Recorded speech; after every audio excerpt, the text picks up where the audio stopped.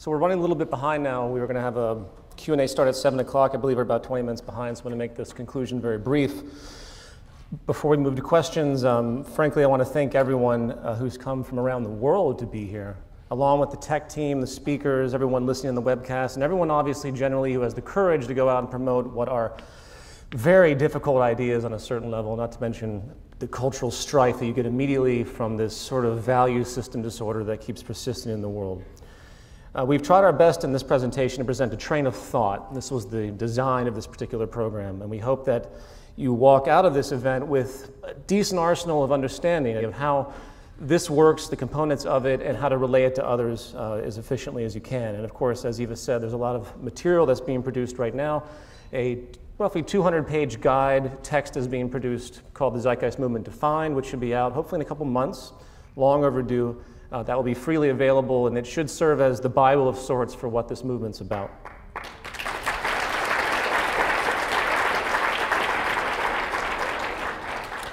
Uh, as was mentioned earlier, the zeitgeist moves on in one direction or another, and we can choose to orient it or not. We are all in the zeitgeist movement one way or another. The question is how aware and responsible are you when it comes to the inevitable unfolding of the change you are invariably a part of. Now, it's usually at this point in a program of such, in the general kind of activism, sustainability movements, that someone comes out, puts up a screen, and tells you where to donate all your money. we don't work that way.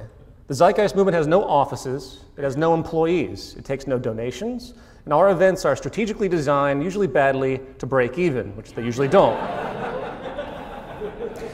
This movement is about personal effort. You don't give to the Zeitgeist movement, you become a part of it by your actions. You learn, you communicate, you become part of the process of social transformation, and as tedious as it may seem, there is a tipping point that can occur. Before the age of the internet, it's hard to fathom how mass social, social revolutions ever happened at all. Imagine without a telephone, but yet we go back in history, these things did occur. And we have much, a vast amount of tools now that was never possible before, which makes this possibility that much more possible. And every time you engage people, uh, you need to remember that all of your actions, regardless if it's relating to the Zeitgeist movement specific content or not, is going to have an effect. What I mean by that is every time you engage people in an unselfish way, you plant the seed for them to be unselfish as well.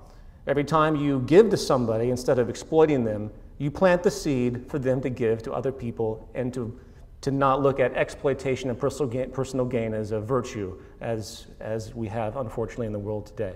So behavior is viral, and values are viral. Apart from that, it's also important to realize that this train of thought is extremely self evident. And the goal is not to convince anyone of these understandings, but to set up the condition for them to realize it for themselves. That is probably the most profound thing that I've ever realized. You don't impose, you set it up, and if anything is really true, then we all should have the capacity to realize it on our own without feeling imposition. So this concludes the presentation. I think all the speakers and everyone that's coming, we're going to have a Q&A right now, but thank you all, and thank you all on the webcast.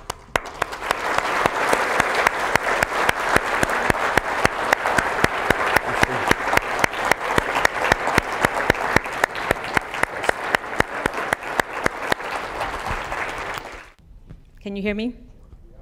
Okay. First question How long would you imagine to set up a resource based economy?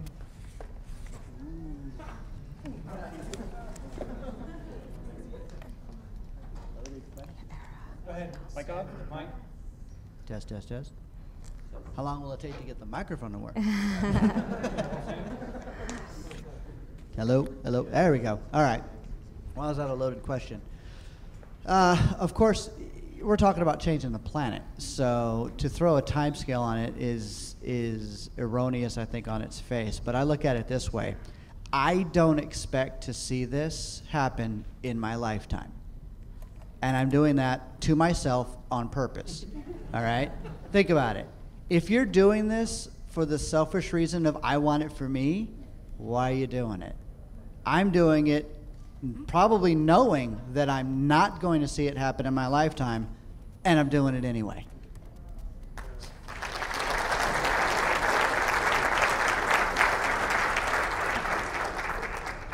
I would just add to that that there is a, a value shift that can happen in more of a step by step sense. Obviously, the definition of a resource based economy and as what Eva said earlier, that we're always in transition. So, planting the seeds of these values, which we're seeing anyway, almost forced by the environment, such as this kind of greenwash thing we see in corporate America right now, at least it's a positive notion, even though they don't really understand what they're up against and the public doesn't understand that you really can't have a green corporation because it goes against the very fundamental laws of the market economy. So there is a step-by-step concept that people should keep in mind, and there really is no final end. We can achieve a certain percentage of this in a certain abstract sense. Global unity, obviously, in its final state of optimization, when the world is working together in a systems approach, would be by would excuse me be the final definition of it, though.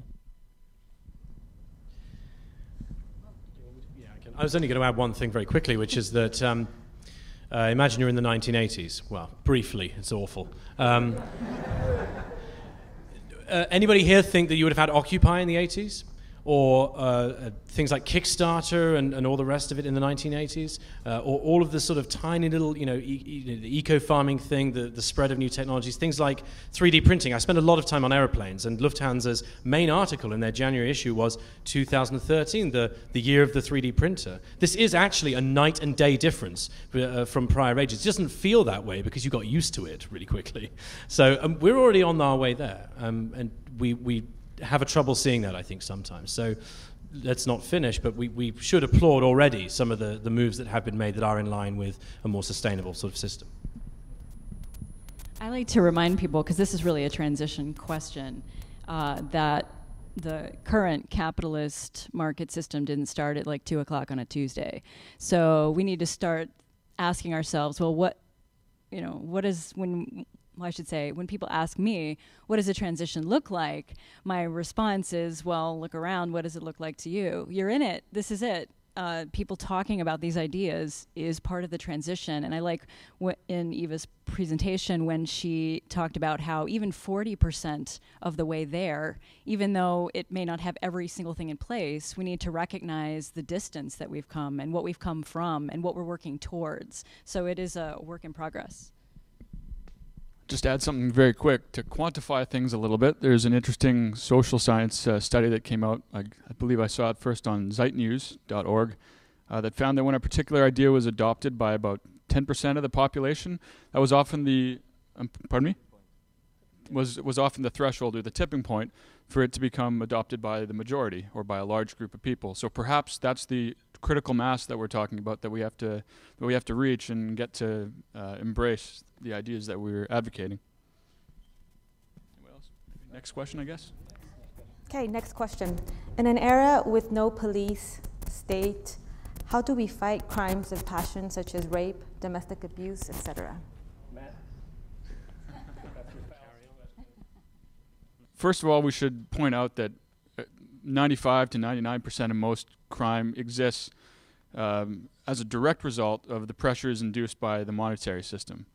Um, and probably the rest could say to would could be said to indirectly be related. Um, remember, there's always a behavioral chain of causality that needs to be understood.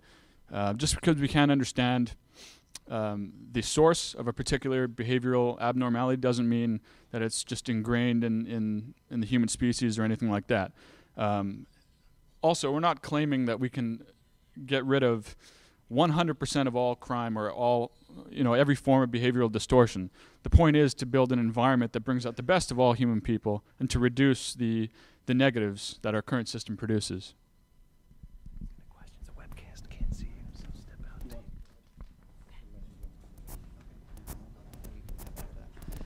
I would uh, I would add to that that um, in an environment that is as positive, at least intuitively positive, as what we're talking about. Any aberrant ha- behavior after that point, in almost every respect, would be a mental disorder, a medical issue. There is something going on up here, likely, that has triggered a, a misbehavior. And that is that's a medical thing that we can help people and learn from and try to figure out the human condition even better. I mean, we do a good job of sabotaging our own human condition as it is in this system. So, you know, to to get out of this system and then be able to look at ba- bad behavior in a different under a different uh, set of circumstances will do nothing more than improve the awareness of ourselves.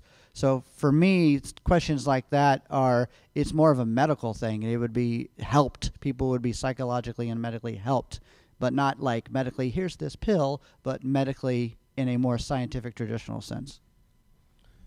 Just to to kind of shatter the simplicity and absolutism of the question, even though it's been stated in a poetic sense, in the future system, you don't want, there's no necessity for prisons and police there's something I've termed the humanity factor, and that's this causal element. There's a, as a chaos to human development, and to say you can weed out either biologically or culturally every type of offensive behavior is very difficult. It doesn't mean you can't reduce it to a fraction of a percent based on where we are now.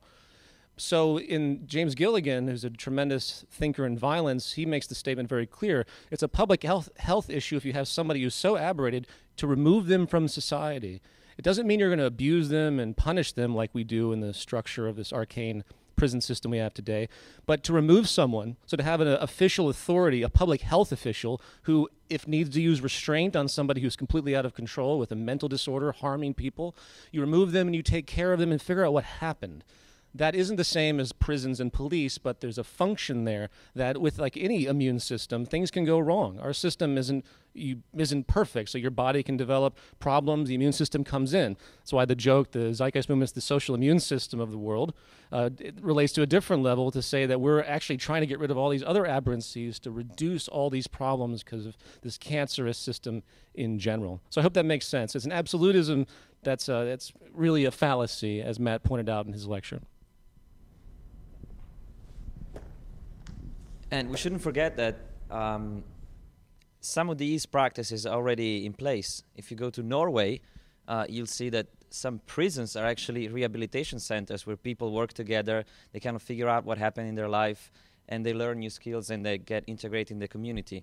So instead of, you know, in most prisons, you get somebody who's virtually honest or maybe they commit a very demeanor, like not, not much of a big deal, crime, then he gets in and becomes a criminal, right? A real criminal because he has to deal with that kind of pressure in the prison.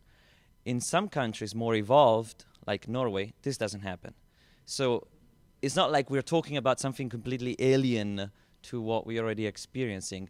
And also, public officials should be uh, proportional to uh, the requirements for them. So the, the question, how would you deal with you know the rapist or in the future if you don't have a police? Well, you're going to have the proportional number of public officials to the crimes that you have. So you're never going to be out of public officials to take care of that situation because it's an evolving process. Okay. Who and or what is the greatest challenge to be overcome for this reality to be achieved? You just throw out some good ones, don't you? I think definitely the human factor. You want it, Jason? Sure.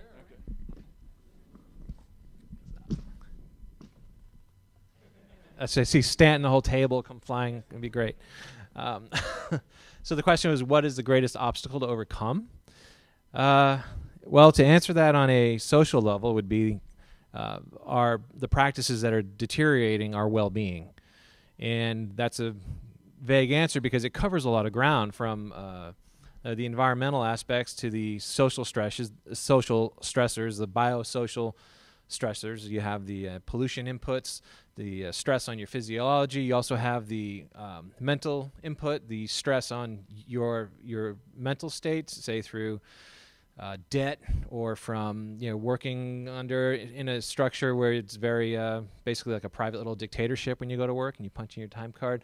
All, and so on a larger scale, overcoming those pressures, but th- that's only through identifying what the root cause is. If you think you're going to run out and fight every cause in the world, well, you'll never stop doing that while they all continue to be perpetuated. And um, uh, so identifying the root cause and then uh, overcoming those on a social scale, but then on a personal level, your greatest obstacle is you in a way because it depends on how you s- see this information. If the person who asked that question actually identifies with this, st- with this uh, train of thought that we've put forth today, then you're on your way to actually changing and updating your social value within the landscape around you. Uh, if everything we presented today is nonsense, then I don't know what to tell that person. It's just the greatest challenge is, you know, I guess the pressure has not become high enough yet. It hasn't become bad enough yet uh, to to see the disparity between what we think works now and the outcomes that we're we're all uh, uh, living in. Yeah, excellent points. And just to stem off of that, it's it's all about realizing your own power. You know, realizing. I mean, there's so many intelligent people in this audience right now. I'm continually impressed. I have a lot of chapter interaction with with the movement here in Los Angeles, and there's so many intelligent people that I come across that, quite frankly, probably know more than I do about a lot of these subjects.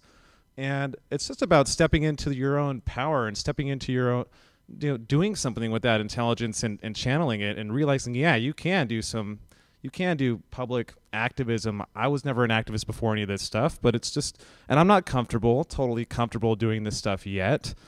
Uh, but it's it needs to happen. So it's it's really a lot about you know what Jason said values, what you value, what kind of what you do with your time, and committing to that and realizing that this is a long a long process and just enjoy just enjoy creating social change. I can't imagine you know anything more fun than than doing that. So.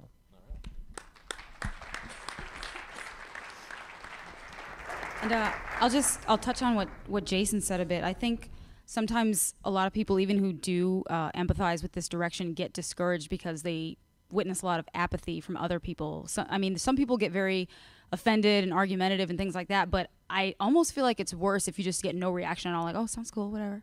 It's like, this is kind of a big deal.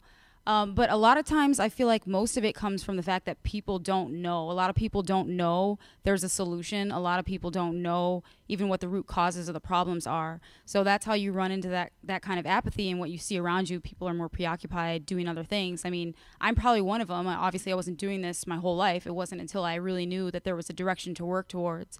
Um, so that you know, it's kind of the same thing with that that obstacle being just getting the information out there, so that people who become aware that there's somewhere to go from here start to move in that direction. okay. Okay. How do we practically smart ourselves up after being so effectively dumbed down?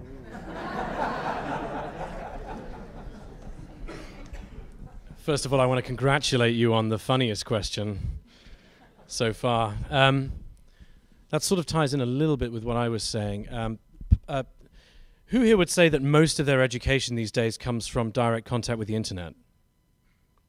Right? We get all our news from there. We learn about things like the Khan Academy from there and all the rest of it. We read our books, which are delivered by the internet. Uh, you're, you're receiving news sources that can't go through a censor just through the, like the structure of the way that this is set up. I do think that most of the education, and by the way, you know more than like Galileo did, right? You're, you're geniuses compared to Galileo. Bear that in mind. Um, uh, this kind of stuff is sort of, I think education is sort of built in. Now, of course, there are a lot of people who can just use the internet for cat videos. Um, but I think that that's changing. I do think that overall, as things are sort of shared more and that the sort of social engine pushes information outwards by people who deliberately want it to be uh, shared, and as that becomes more of a social effort rather than just, hey, look at this cat video, uh, then I think this sort of gradually tips the balance, almost like the tipping point you were talking about. Um, so I would say it is definitely going to be systemic education. I'll put it that way, um, rather than just going to school. Even schools are changing now as well. I do think it's going to be the, the general interaction between the availability of information and the way that the interaction actually sends that information on as well. And especially our children right now. Uh, are, I mean, my daughter has already learned way more than I did and has come into contact with operating systems and concepts about the Earth and all the rest of it. Not through me being anywhere near a good parent, but just the fact that there is all this interactivity and availability of information and all the rest of it. So I, I don't know if that helps. we are Legion indeed.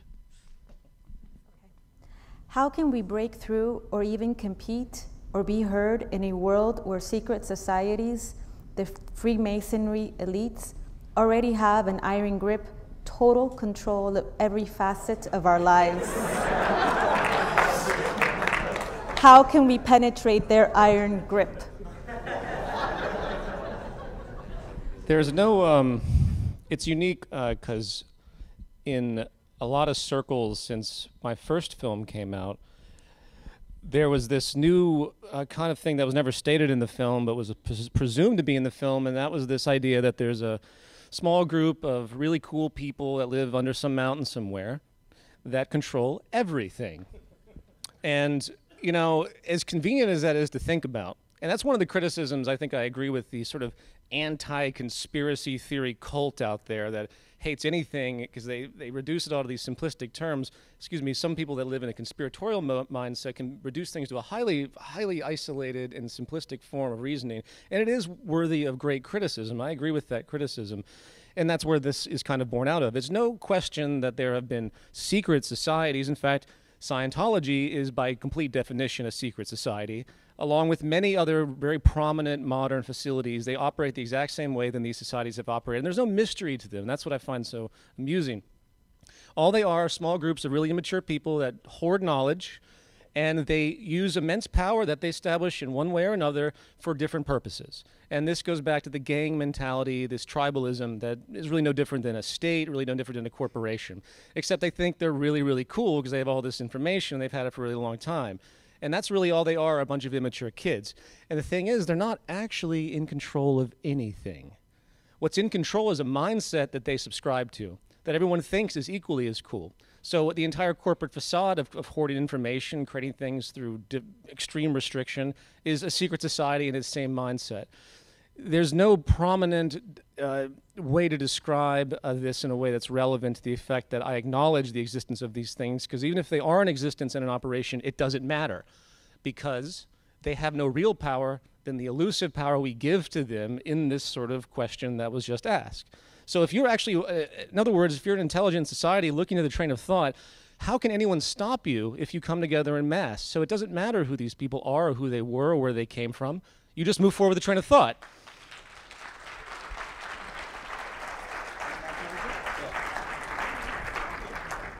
Okay.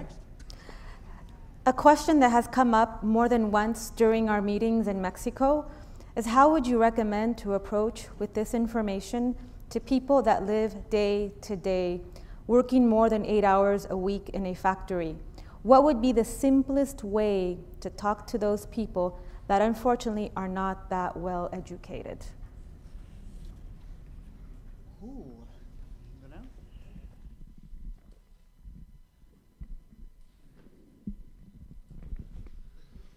Well, you have to start small. You obviously don't start at we want to evolve into a resource-based economy. You have to really start simple with people and and acknowledge how much time they actually have and and where they're coming from, of course, as far as what their problems are and and you know this we've got materials that pitch different angles to that and and um, as far as talking to people about that are day to day struggle. That's kind of the question, right? A day to day struggle. Um, I mean, just speak to their values and, and just get them to realize that where the root causes are of a lot of their problems are if they can even manage a few minutes to to, to give you to care about that stuff because you're talking about people that are struggling and, and going through a lot of problems so just uh, get them to realize where these where their problems are actually coming from at the very most simple level and i think that's a great place to start. And if they can manage to actually you know get more interested and have more interest and actually have time to contribute and and do you know just at least support it is actually the the most simple uh, greatest thing i can imagine. I mean just support the direction support a, a better word for, world for all people support getting to the root of the problems support advocating um, solutions that can evolve society in general, and I think that's a great place to start. So. Also, I think it's important that with people that are struggling so hard on a daily basis that don't even have the time to give to research all of this, is to connect with them just on a real human level. And, you know, they're. Um, without money, we'd all be rich, is a saying, you know. And people that are at that level may be under this dream that they can make it too, like we all are. That if they just work hard enough, if they can just, you know, be lucky enough to to be like Michael Jordan or someone else, you know, and have a lot of money. But we know that not everyone can be like that. So I think the most important thing is to identify with them on a human level, as we're all struggling. None of us are wealthy, and um, to let them know they're not alone in that, and that um, at least something else exists. And in whatever language you can explain that, that there is another alternative. We're working towards it on their behalf. Whatever they end up doing or not, it doesn't matter. But just so that they know that, I think that's really important.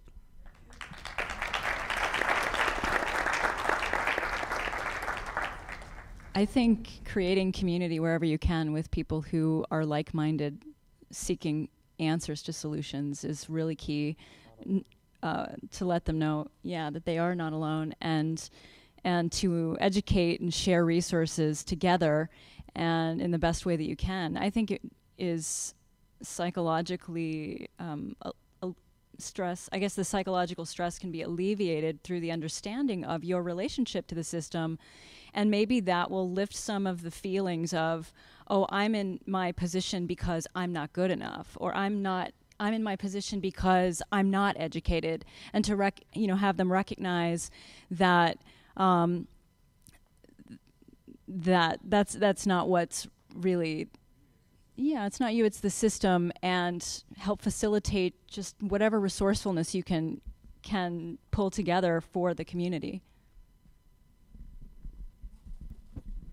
And as the more techie of the group, um, I would say something that could be done. Uh, this would all be situationally specific, so I'm going to be very broad here. Would be to help set up it's like a series of did you know questions. Did you know about aquaponics? Do you know what that is? You know, we could set that up in your community and grow some food on the side. Maybe four or five of you could get together and we could set up a little community garden farm or something like that using an aquaponics system and maybe everybody pools some resources in the financial sense since that's what we're stuck with and set up something like that. And you do that for one or two months and you do another one and then you do another one and you start eroding their need to you start helping rel- relieve that grocery budget a little bit by growing some lettuces and spinaches. So now now they have a practical real world application of kind of what we're talking about. It's not you know giant solar panels and wind turbines and everything else okay it's a it's a more local scale but it's the concept it's that train of thought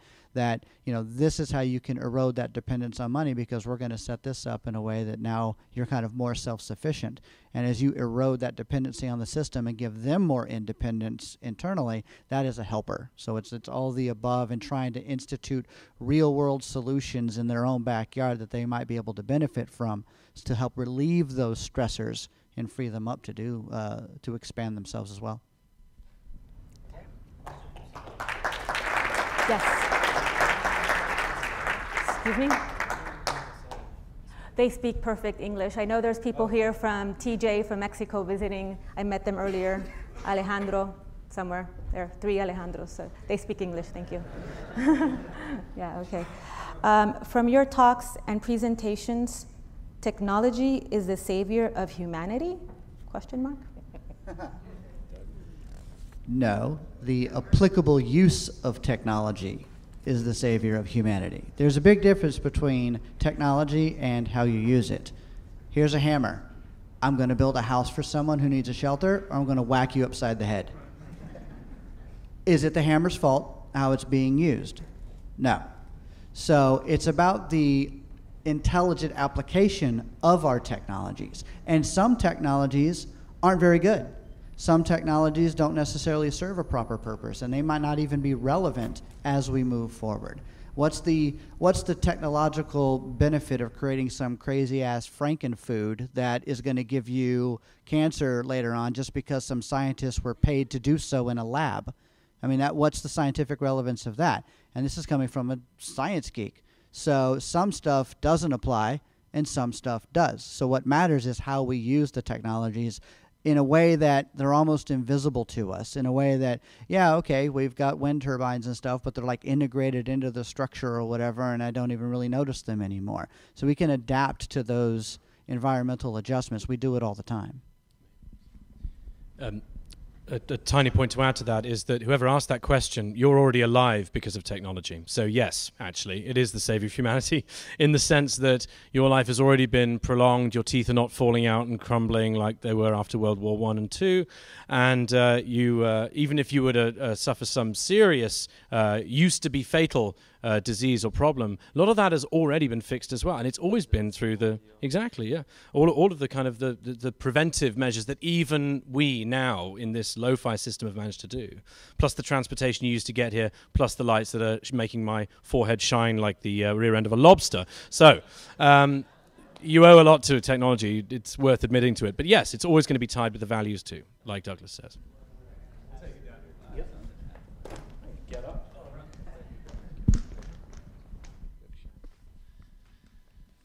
Uh, so that question was technology is the savior of humanity question mark.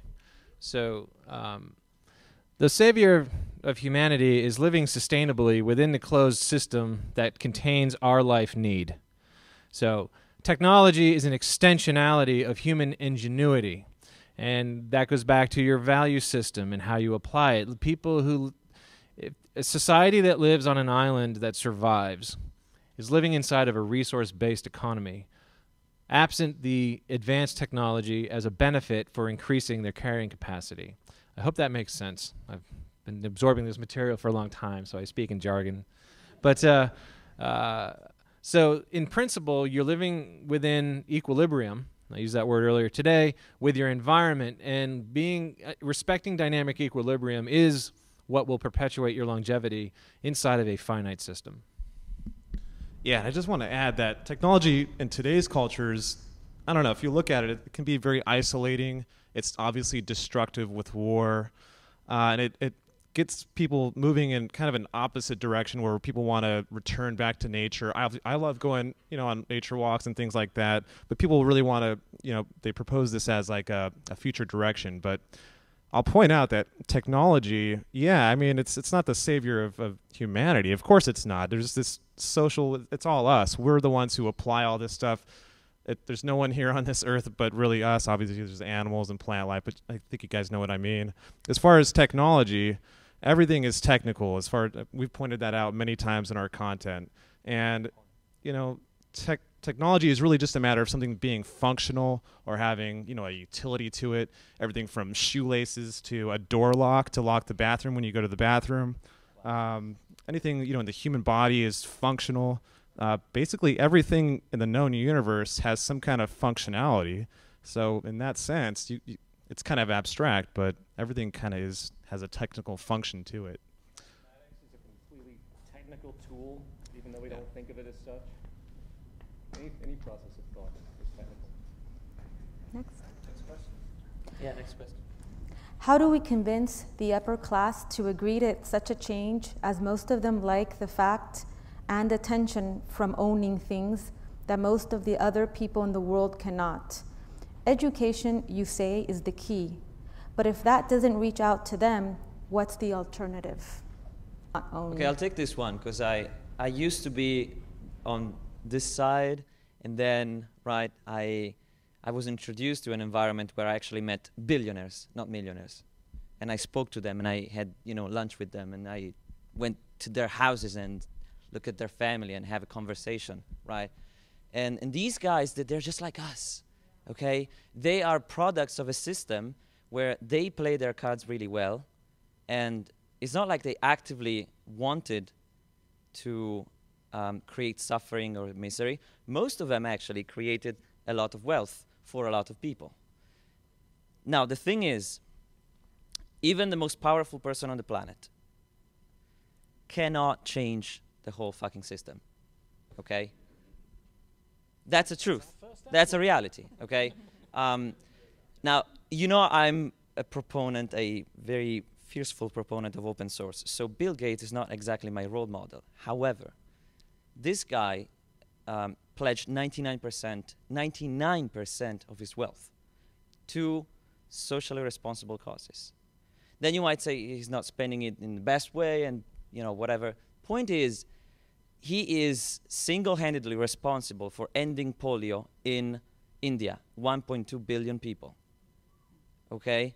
he spent $7 billion just donating in vaccines to end polio, and 800,000 people were saved. Now, I'm not saying he's a hero. I'm saying there is no such distinction as us and them. So it's not convincing them, it's finding ways of better communicating among each other to understand each other better so that we can come to common ground and common solutions because we're all on the same side. Really, because I know these guys and most of them are on everybody's side. They're not on their side. So I can speak for experience. And I'm sure there is going to be the asshole who, you know, who just wants to hoard everything. You can point them out and say, those are the assholes. um, but,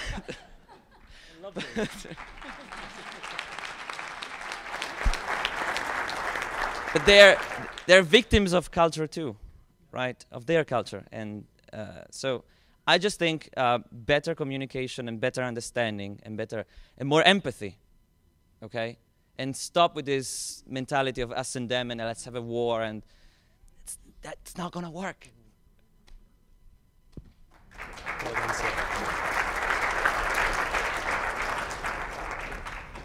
The question I sometimes want to fire back to that too is what is it that you're thinking that they're losing when you're meeting the needs of the human population?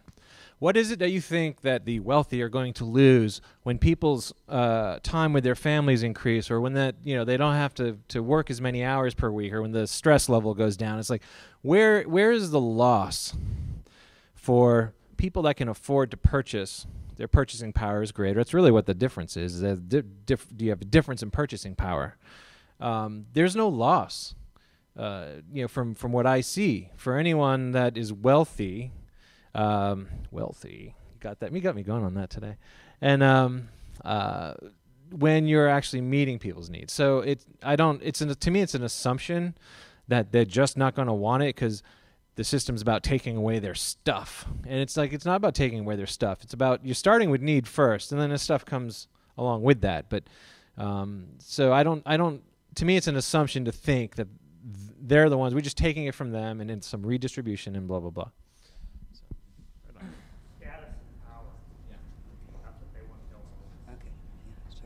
Um, I just wanted to say that we push in our society extrinsic values of money, fame, and status.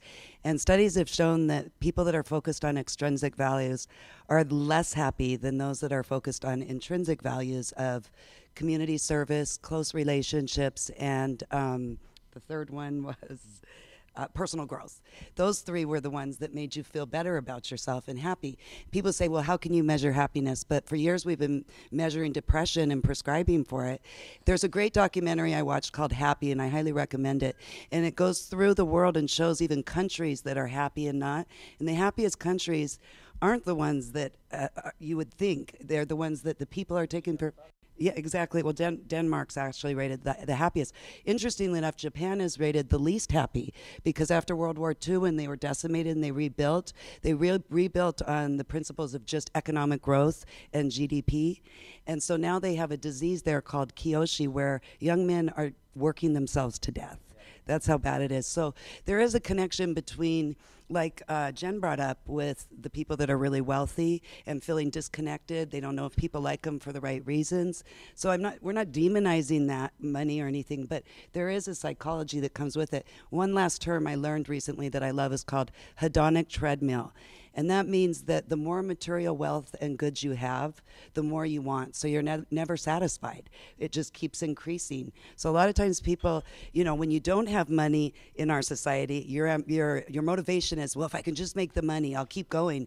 But once you finally make it, and then you don't feel all that happiness, then what's next? So there is a connection between happiness and community. And sometimes I think those that are just focused on wealth don't have that. And joy is connection. So, anyway.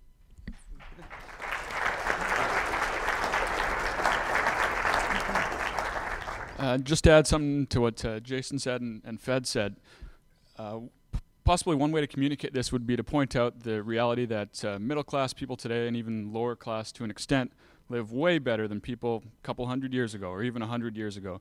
So there's nothing, there's no reason to assume that uh, people at the top of the, the pyramid today have to have a lowered standard of living. Quite the contrary, everyone would be raised to the highest potential that uh, the planet can, can afford.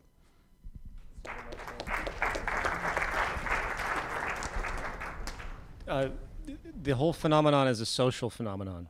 So if people stop respecting those that have extreme high levels of wealth and their status, and hence the enabling of their control, then they will lose the support for feeling as validated as they do. So it's a cultural phenomenon, and it's invariably social and empathic, one direction or the other.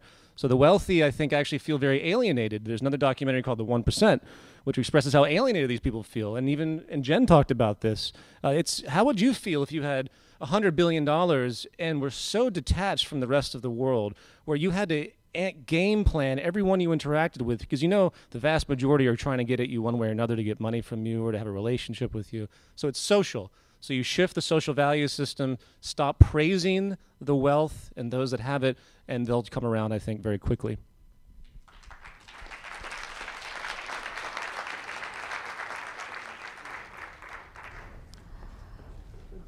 Like Jen said in her presentation, TZM is like a civil right movement.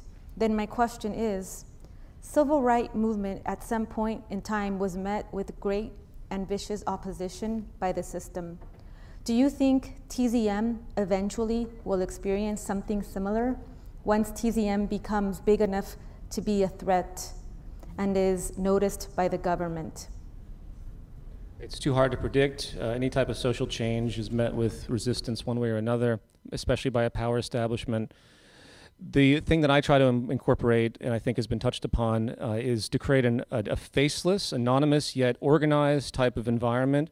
Uh, I do my best to restrict my visibility, believe it or not, and to reduce any type of figurehead status towards the movement. This is really important because the beauty of Occupy when it hit is no one know who to no one knew who to attack. Remember? They, even the even the this one PR company was finding certain people, and this was published by the way, and they were going to make a huge PR campaign against these leaders that they deemed. It was leaked to the public. So the remaining as anonymous as possible, but yet being structurally organized and holographic in a chapter structure where it's literally this system of everyone thinking the same way, really beginning the value transition in effect, it would ward off any type of attack like that, so to speak, because they wouldn't know, they, meaning the power establishment or anyone who thinks in the form of power, wouldn't know where to go to stop it because it's that viral. And I would say, uh, given our 21st century context, the, the civil rights movement quite literally had to come together on a street corner and do a walk and something like that. We don't really have to. We have the internet. We have so many different variable ways to communicate and get information out that you don't even necessarily have to physically be in any particular place to get anything done. Yeah, yeah, we could walk a million of us. That'd be hilarious. But, um, you know, so, but it's not a requirement. So now there's no place to attack or to, to pull something like that off. And, and there are a shitload of us. And so, uh, and it's global and it's everywhere. And good luck stopping this avalanche.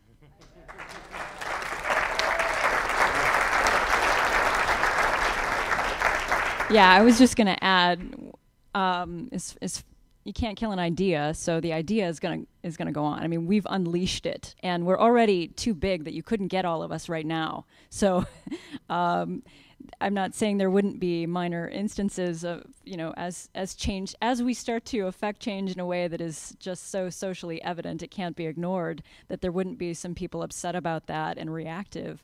But I'm I'm not worried about uh, the movement itself or the ideas itself getting squashed at this point. I mean, this is yeah, as Doug said, it's an avalanche. One small story.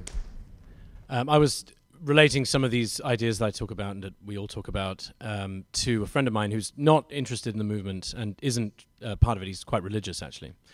And but he understands the, the, the train of thought. And uh, when I pointed out that we had violent detractors, uh, he said, "You mean you have people who don't like what you're talking about?" And I said, "Yeah." And he went, "Well, that's ridiculous." So these are the these are the sort of the sympathizers that you you would say are not in the movement, which we've all explained is not an actual thing anyway.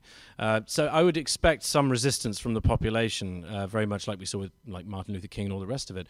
Um, so this sort of general support by humans, even if they don't necessarily directly call themselves or identify with the movement. Yeah. So I think I think that's there too, and probably more than we think as well. Ten minutes. Ten minutes. Next. Okay. Rapid fire round Jeopardy, go. Okay, go. To Peter Joseph, regarding the Global Redesign Institute, could you elaborate on your most updated view or main goal for this project? The Global Redesign Institute is a macro industrial concept where, through a graphic style Wikipedia open source interface, so to speak, even though it's not going to be as open as Wikipedia in the sense that anyone who just go in and do random things, Wikipedia is horrible like that, even though it does very well in certain instances. I wouldn't want Wikipedia users to design a new economy because you'd only have the, the people that uh, literally sit behind their computer all day forcing their will upon the world uh, and making truth out of nothing.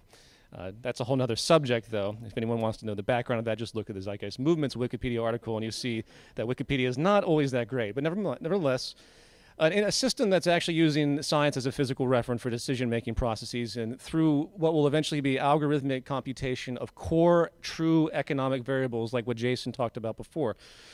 So what happens in this? People come in, ideally with some type of background in engineering, or at least critical thought and creative thinking.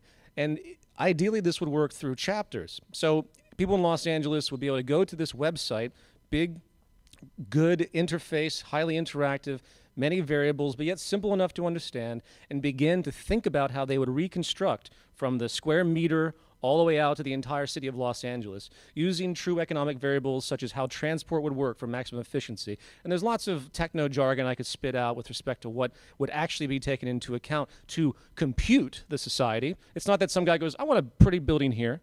It says, what's the use of this? How does it work with the population? What are the energy resources of the region? What kind of stuff can we put on the coastline to actually utilize, say, energy off of the, uh, excuse me, tidal or, or wave energy? All the variables that we've talked about in passing again back to Jason's lecture. This will give a position, a virtual uh, place, excuse me, where people can actually go and create these things. And the fact that it's a public forum, I think, is really exciting to me because it really engages the group mind. You know, we talk about how we can arrive at, at conclusions in this sort of computational way, uh, but there isn't an existing AI system that can do this yet. So we are the AI system. And yes, we can think critically and logically enough to pull this off if we get rid of the bias of the market economy, because this entire idea is to say, let's do what's technically relevant and what will work to the highest optimized efficiency we know how, and forget the idea of what it's going to cost. And that's really the most profound point of it all because every time you talk to people about this stuff, even the technical stuff, like the stuff that Doug's working with, you know, trying to get his farm system stuff up, he's got to deal with money. And everyone says, well, how much is it going to cost? And as though that's a real variable in a society that's actually trying to be sustainable away from the monetary system. So I hope that answers your question. It's a work in progress. Very little has been done other than the structure of it, but the reasoning is there. And the next round is to get a very concentrated group of extremely good programmers and engineering oriented thinkers to digest these variables because it's not going to be complete but it's going to show an example. And to make a final note, just like we have Zeitgeist Day, there will be conferences that exist all around the world for the Global Redesign Institute to show people, ideally in 3D modeling, what their region would look like without they, them having to pay for energy because it's so efficient, without them having to pay for food because it's so efficient, and without having them to pay for general goods as a step-by-step layered process. Again, that was kind of talked about in the transition that Eva did. So I hope that makes sense. I could rattle on and on, but that's basically it, and it's got a long ways to go before it's implemented in its virtual website form.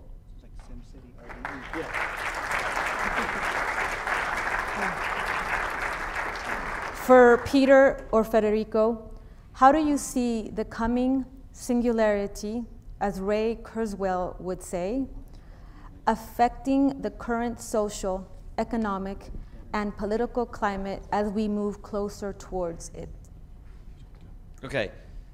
Well, so um, I don't know the answer what happens after a singularity, I think anybody who gives you an answer is either lying or is mentally ill. so I think we are already uh, experiencing dramatic change as we move towards a hypothetical or possible singularity. By the way, singularity is the time when computers become smarter in any respect uh, than humans. So you know they can improve themselves exponentially. So you know, when Vernor Vinge, who coined the term singularity, was asked, "Will machines ever be as smart as humans?" He said, "Yes, for a very brief moment." right. So um, I think we are already in this massive social change driven by technology, and um, the social economic the socioeconomic system is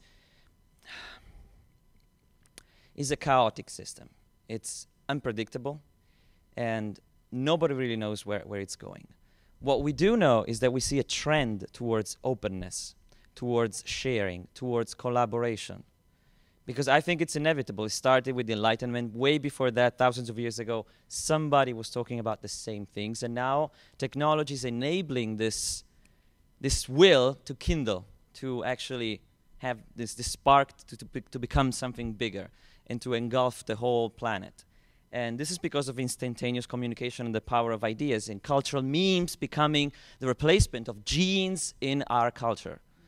So we are in the middle of it, and we should be supporting these open source projects. We should be fighting legislation that promotes meaningless and useless and unproductive and very harmful patent laws and copyright laws and Disney and all that bullshit. We should fight it with all of our strength and um, support the Electronic Frontier Foundation.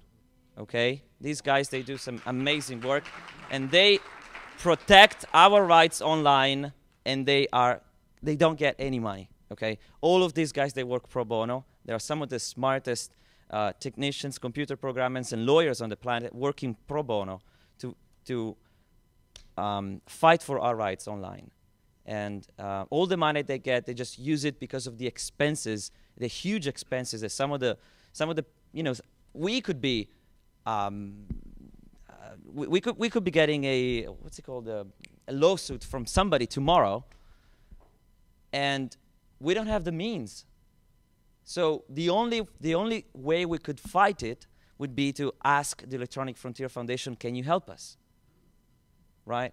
And people like those. Uh, so support great products, projects, open source projects that you think like the Khan Academy, like uh, open source ecology. There are tons of them. Find them out, support them.